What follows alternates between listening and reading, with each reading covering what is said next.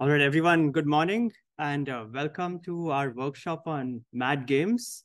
Uh, and this is a workshop on uh, multi-agent dynamic games.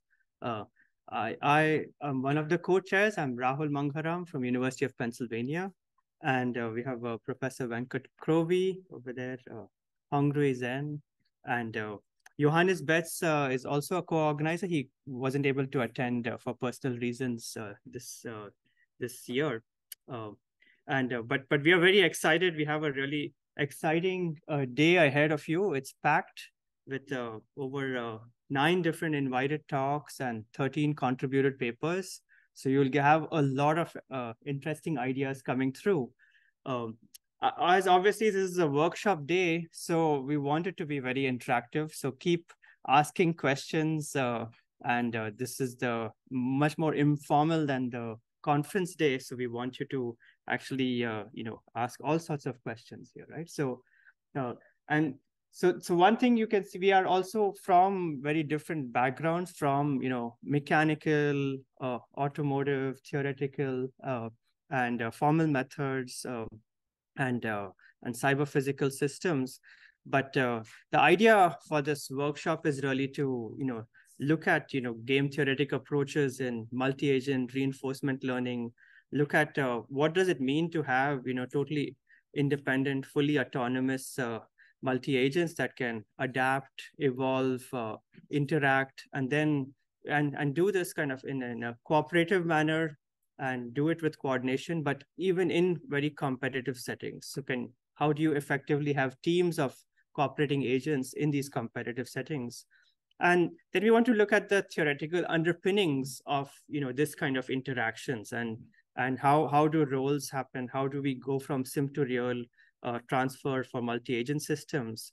And then to also look at uh, you know the asymptotic sort of uh, thresholds of this kind of cooperation and how effectively cooperation can help in the outcomes of these right? So um, so today we have a, a very uh, distinguished uh, panel of uh, invited speakers from um, uh, people uh, who have been working on you know uh, dynamic games uh, for the last 30 years to people starting out in their careers but with very exciting new ideas and new approaches.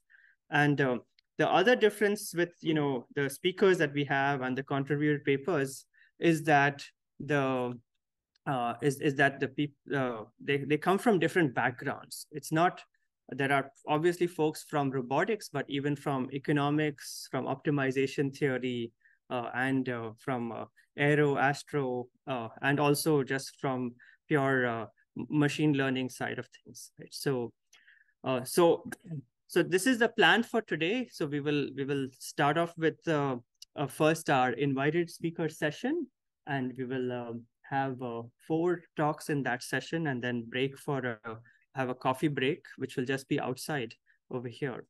And uh, then we will have a very rapid fire round of six uh, papers for the contributed papers. Uh, some are in person, some are virtual, but we will coordinate that effectively so you can just see where you are scheduled. The same schedule is on our website. Uh, and uh, then after we'll break for lunch and uh, hopefully in lunch we can you know have a lot more discussions. Uh, and um, and then we will continue with our second invited session with uh, five uh, different talks. Um, and uh, again spanning a, a, variety of these themes and then have a coffee break and then a second session for the contributed papers. So two invited sessions and uh, two contributed paper sessions. The second one will be um, with seven papers here and then we'll wrap up for the, day uh, uh, by before 5.30 with that, right? So, and then if uh, people are interested at that point, you want to go out for dinner, uh, we'd be very happy to. So, uh, so, so I'll just give a quick uh, intro to our speakers. I think Nancy is not here yet because she was flying in from Cornell. And so she said that she's just doing a day trip for this workshop, but she'll probably join us a little later. So uh, Jana has happily volunteered to be the first speaker, but uh, but I think it's it's very apt because she spans uh, you know uh, quite a, a, a range of you know looking at you know, applied formal methods for both the specification and synthesis, you know, these policies for controllers, but with these safety and performance guarantees, right? So, and then and applied to all of the autonomous, you know, areas that we are very excited about on ground, in the air, uh, and and looking at. So she's an associate professor from uh, KTH, uh, from the division of uh, robotics, perception, and learning. So without uh, further delay, welcome, Jana.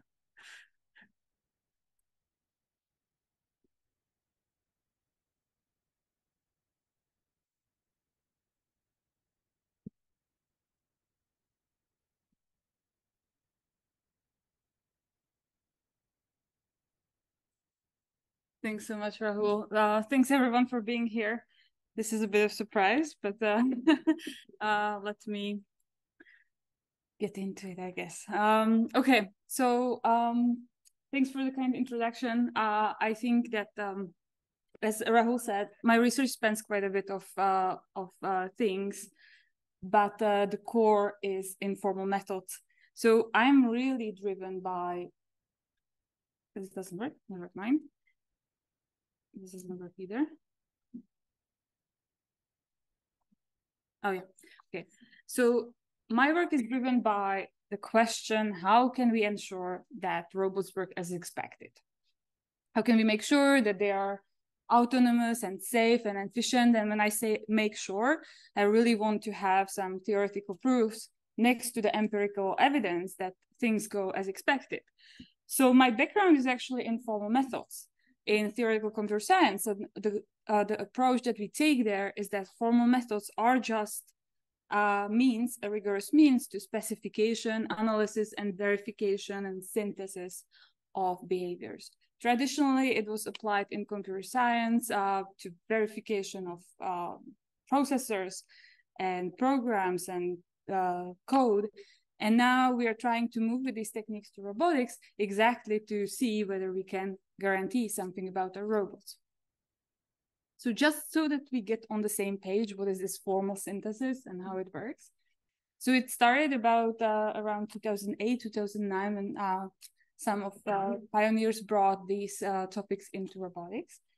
And we basically start with a system and we start with an objective. We want something, the system to do something. So our system can be a robot in some work workspace, and our objective can be something like to patrol the offices. What we do is we model the system somehow. It could be differential equation or whatnot. But typically, these differential equations and continuous dynamical models are very difficult to tame together with these logical principles and in the formal methods framework. So that's where we come up with some sort of abstraction, some sort of discretized uh, representation of our robot in environment and our objective is specified in some sort of temporal logic. So if I want to say patrol offices A and B, I'm going to create a formula that says GFA, GFB. G stands for globally or always. F stands for future or eventually. So what I'm really doing is saying always eventually go to A, always eventually go to B, which is exactly the same as saying keep patrolling offices A and B. So with these temporal logics, we can have uh, such advanced uh, objectives for the robots to do. And then it both the model or the abstraction of the model and the temporal logic spec go to formal synthesis framework. And we, from formal synthesis framework, this is basically set a family of algorithms, a family of approaches that can algorithmically give you a correct by design plan. And this is working quite well in a number of settings, especially when um, when uh, you know a lot of things, when you are in a lab, and so on. Sometimes we also get there is no correct by design plan. And there can be multiple reasons for that. One, you simply can't, with your robot, achieve that objective. Second, the uncertainty is so high that you cannot really say for sure that this is a correct by design plan because there are these uncertain elements in the environment and uh, and uh, you don't know what they will do and how they will play into this. So when it comes to single agent settings, we have this beautiful framework. As I said, it works many times. And when we try to bring them to multi-agent settings, uh, there are some challenges to that. One of the challenges is humans in the loop. So when we have formal synthesis and when we have proofs and everything is nice, and then we get people, people is something that is very difficult to build proofs around. Uh, so that's one of the challenges that we have there. Second is when we take a look at multi-agent systems as multi-robot systems, we have some issues in terms of scalability. Of course, I could model my whole system, my multi-agent system, uh, as one model, but then there would be exponential growth in the state space and we would be facing challenges in computation. So let's look at the, the human in the loop synthesis first. So imagine that we have a robot and then we have the human. The human is not really, maybe not even collaborating with the robot, or it is, or, or he or she is. Uh, there are pedestrians when the car drives. There, there are also passengers when the car drives. So a lot of robotic systems that we have out there do interact or coexist with people. And when it comes to formal methods, to having guarantees that systems work as expected around people, there have been a bunch of different approaches taken. One of them is to consider the worst case behavior. So what we do here is basically we say the human is adversarial, the human can do uh, everything they want, and they are proactively working in the system. If I can guarantee, if I, I can draw some guarantees in such situation, uh, then I can for sure draw some guarantees. Uh, so um, this is a nice thought, but this is exactly one of these examples where we often get there is no correct by design plan. The whole procedure is very conservative. You are creating very harsh assumption on the human for your robot.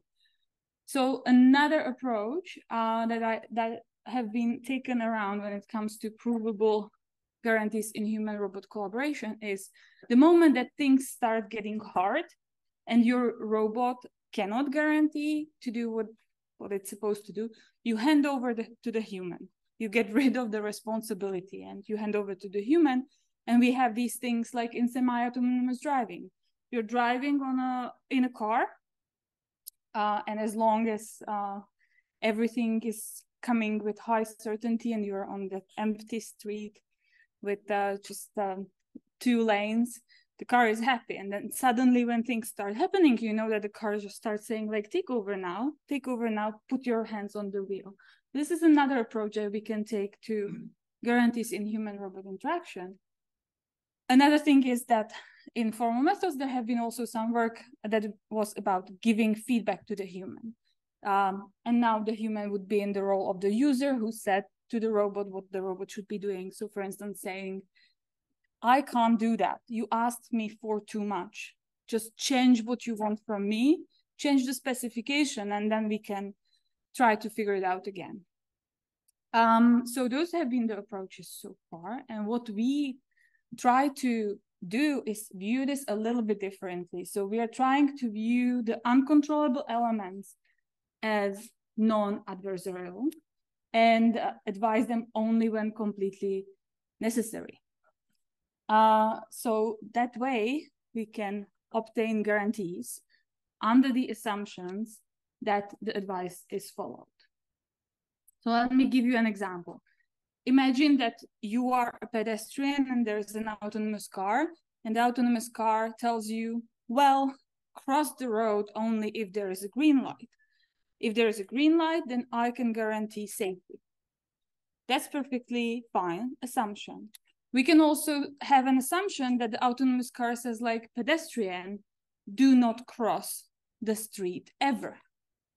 And that's also a perfectly fine assumption. If the pedestrians are never going to cross the road, I'm very sure that the autonomous car can be designed in a way that, that it doesn't hit the pedestrian. But some of these assumptions that we impose on people are a little bit harsher, and some of them are more relaxed. So there needs to be some sort of distinguish uh, between which advice is appropriate, which advice is less limiting to the humans in the loop. So what we did is having this kind of philosophy in mind, we tried to boil it down to some math. So we started taking a look first at very simple scenario where we had something that we call safety game. So this would be a two-player turn-based game. We would have a set of states. Um, the squares are protagonists. That's my robot. That's what we can control. The circles are a human, and that's uh, that's the uncontrolled part. The adversary, and the safety winning condition would be here just to stay in the green area uh, and not to go to the blue one ever. And when I look at the game, I see that whatever the protagonist does, if S1 chooses to go through UP1 or UP2, they end up in adversary state that can bring the whole system into one of the blue states. And this is something that we didn't want to do. So what we strive to do is really find a strategy together with a mapping from the adversary state to forbidden inputs. So I'm trying to tell the adversary, who is really not an adversary because that's a flexible human who doesn't want to the robot to screw up, right? So I'm telling the the human, I'm telling the um uh, the adversary which are forbidden. So let's say that I forbid UA3 and I forbid UA5 and UA4. And in this situation, under this advisor, under this assumption, I can keep the whole system in the winning set of states, in the safe states. So this is this is what we call a good advisor. A good advisor is one that keeps the system in a safe region. Now, Another thing that I mentioned is that we have to think about what is appropriate advisor. And here we define formally something that we call level of limitation. In our case, this was worst case, long-term average of the number of forbidden inputs along the plays induced by the best case winning protagonist strategy. So basically different, different kind of uh, advisors here, different kind of sets of those red edges of those forbidden inputs will have different levels of limitations depending on how many times you really have to impose these restrictions. Now, the problem mathematically would be given a two-player game and a safety winning condition, find the, find the least limiting good advisor and the corresponding optimal protagonist winning strategy. And to make the long story short, uh, we can find a nominal advisor by ba basically doing backwards reachability from the unsafe states. We can find least limiting advisor that is always an extension to the nominal advisor. So we managed to find a lemma that says like any good advisor is going to be any the is going to contain the nominal advisor plus some edges on top of that, which is very convenient because it gives us the space where we should be looking for the least limiting one. And then the rest finding the winning situation, the, the winning uh, strategy for, for the protagonist is basically a reachability game. So that went well. So we managed to figure it out. But what I want to say is that I promised you these fancy, complex objectives, right? So far it was safety. Uh, sure, we want to keep our robots safe, but we want to make them do something as well. So now in the formal synthesis framework, we are moving towards uh, some temporal logic specifications. So for instance, we may be interested in things like keep patrolling the three offices, or whenever you spot danger, go directly to the staircase and wait for all clear signal before continuing. This one I would say as always. If there is danger, then the next step should be staircase until all is clear. Hmm? Or make sure to recharge at least every 10 minutes. And I would say that as always, eventually between zero and 10 recharge. Or I can even uh, try to say stuff like at all times, stay within five meters from the Wi-Fi router. And then I would say something like always the distance between robot and the router is more or equal than five. The first two ones are in linear temporal logic. The third one is in an extension called metric interval temporal logic. And the fourth one, fourth one, we need signal temporal logic for that. And with, with these logics, we can, for instance, capture interesting things like traffic rules. You should be staying in right lane and you shouldn't be en um, entering construction zone. And with those advanced logic like STL, signal temporal logic, we can even be uh, encode things like uh, responsibility sensitive safety.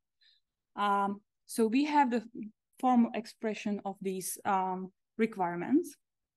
Now, I showed safety and I'm gonna show what we did for LTL uh, F and the MITL and STL are currently in the future work bucket still. So for LTL, we managed to, to come up with similar results as we did for safety. So for uh, uh, for LTL specification, what we do is we go through something that's called automata theoretic approach. We translate them to deterministic finite automaton. Uh, our robots is this time going to be modeled as MDP to include some kind of uncertainty from the environment. And what we get is a stochastic game with reachability goal. The nice part about LTLF was that we were actually able to boil it down to reachability in the end of the day. From that stochastic game, we get two types of advisors. One is safety. That's what you saw already. That's like in this state, do not do this action. And one is fairness. And fairness advisor basically says at some point, you are going to have to take this action so that we can all move on. So that's enforcing uh, liveness properties. Now, um, so we have safety advisor and we have fairness advisor. And I was I named this talk safety in HRI. And when it is HRI, there has to be a user study, there has to be the human. So we ran a user study. So my my PhD student Georg that you saw on the previous figure, he uh, implemented this as a as an um, Amazon Turk user study. There was a little game, and the human and the robot were just navigating using the arrows, and and uh, they were trying to make some hamburgers.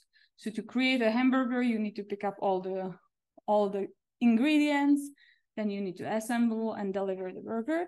The rule of the game is that they should never reach into the same tray for safety reasons. The human and the robot should not operate in the same tray. And at the same time, uh, the robot was not really able to squeeze the ketchup bottle. So there, they, the robot needed help from the human, and that was our liveness requirement.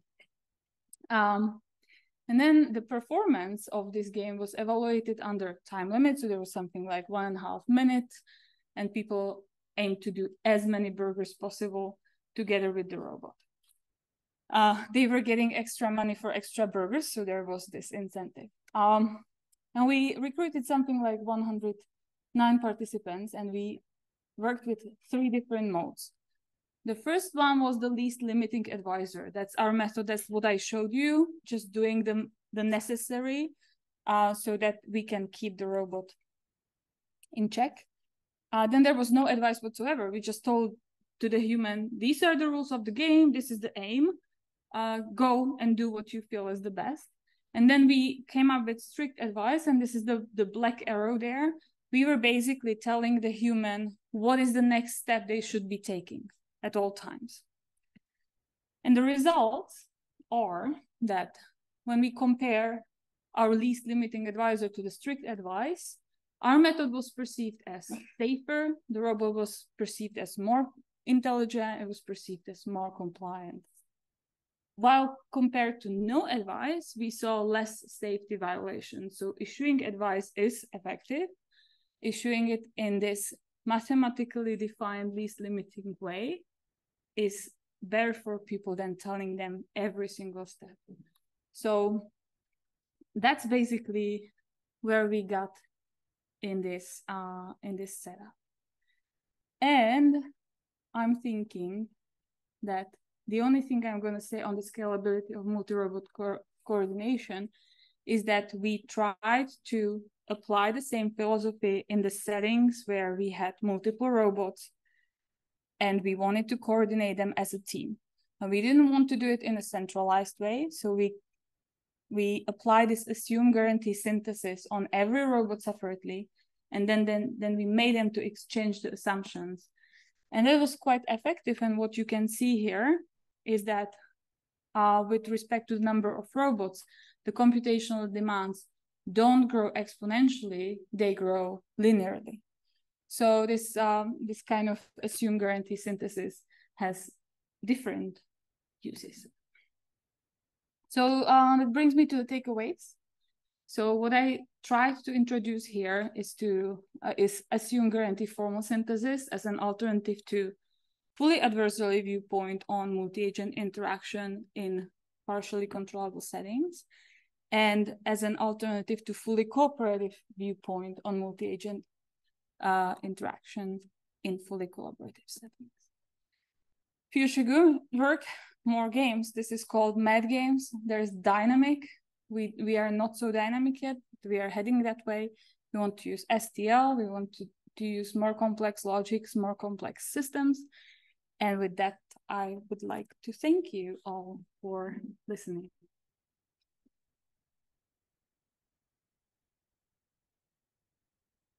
You can take some uh, questions from the mic. There, there's a microphone just behind. There are people online. Uh, thank you, Will. One more talk. Uh, I'm asking about the usability of that. Will imply that in the zero one uh, like this as an objective function, or you have different values for the objective? Uh, it's it's zero one for now. So it's uh, yeah, it's zero one. Uh, so if I if I reach the set, I set the objective one, example. Yes. Yes. So in this case, there might be some sparsity in your uh, stochastic base. Um, I'm wondering how to address this, especially with mm -hmm. Mm -hmm. Yeah, so we were indeed we were working with uh, almost surely objectives. So we are trying to to get there almost surely, and I have no idea how to how to work with with anything else for now. Huh? Mm.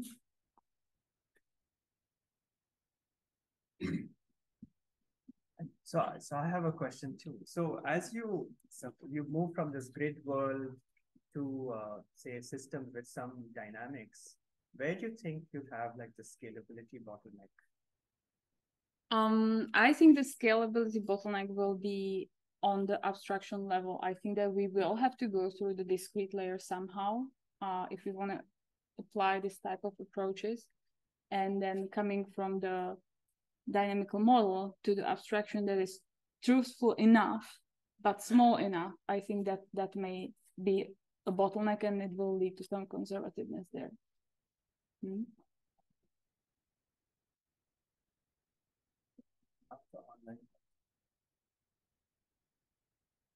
Yes, go ahead. Yeah. Uh, one of the things that's difficult about these problems with the non-stationarity that's introduced when you have agents. I was wondering if there were other problems that uh, yeah, um, I think that one of the problems will be definitely that this is not turn-based situation. The time is continuous. So I think this is going to be another big challenge next to the scalability that we have to switch to continuous time somehow, or at least concurrent games or something. So yeah. Hmm. Thank you. In cyber, there's always another abstraction. Um, do you have any idea how, how would you get that? How do you measure that abstraction from this question? Yeah, I think not not really. I think that we are trying to use the user studies to tell us how how close we are in a way to. Um, so I think that you know when it comes to humans, it's going to be very difficult to to work with something like optimality. Um, it's more going to be acceptability by many. Um, so I think that there will always be a gap, right? So you cannot really model a human being. We do not model a human. We just model what change they can make to the environment, and then we try to issue the advice to them. So we are trying to avoid modeling of the human explicitly that answers your question. Yeah, I think like one more Yes, yes, that's precisely where we're headed. I, we're just trying to approach this space of provably correct and socially acceptable in some systematic way.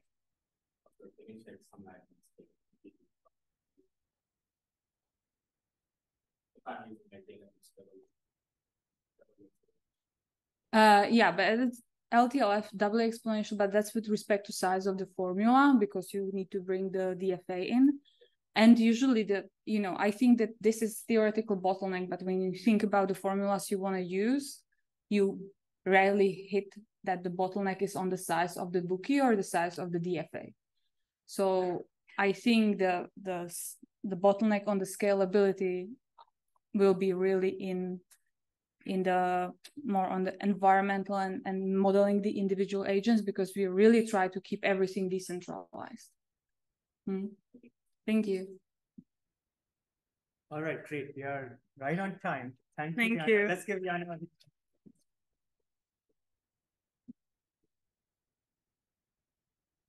Great. That was a, a, a really good way to get the day started. So, uh, so next up we'll have uh, uh,